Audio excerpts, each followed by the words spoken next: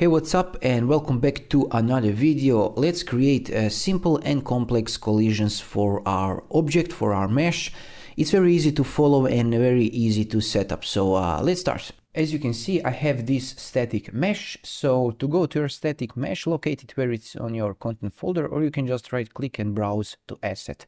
So you sure that uh, your uh, static mesh is selected not anything else. So just double click it and now we want to change collision and make it custom, but first we need to see those collisions. And to see the collisions, go over here on the left side, click show, and you can see simple collision. You can see how this collision looks like. You see that it's a green in color and it blocks everything. So if we go play, it will block our way through the gate. So to remove this collision, on the right side under the details panel, type in collision you can see collision presets. Block all, overlap all, no collision. You can remove collision completely if you click this no collision, but we are interested in this collision complexity. So we want to use complex collision as simple. We don't see complex collision right now, but if you go over here under the show, you can see and click complex collision. And you can see how this complex collision follows our mesh completely. And if you go under collision complexity, we can click use complex collision as simple and hit save. Now our mesh will use complex collision.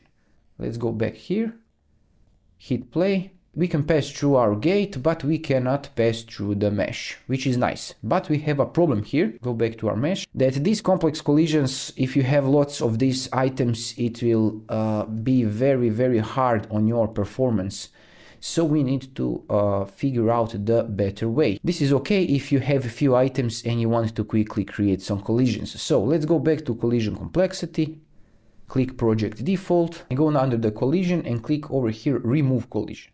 And if you remove all the collision, and now we add our custom collision, so let's add a box simplified collision. And you can see the box all around our asset.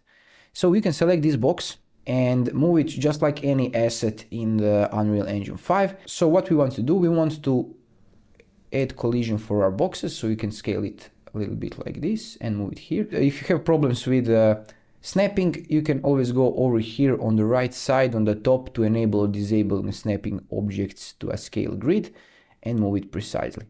I will not do this super perfectly because it will take it some time so I just want to show you how this works. Copy it by holding alt on your keyboard and left mouse button and let's do this same for our top, move it up, make it bigger and position it on the top of your asset like this. This is just a crude example of how to do it and click save and hit play. And if I go over here, you can see that I can pass through the gate, but I can't pass through the walls. And this is it from this video. If you find this helpful, let me know in the comments below and uh, drop some likes and subscribe for more videos like this. Uh, thanks for watching and have a nice day. Bye bye.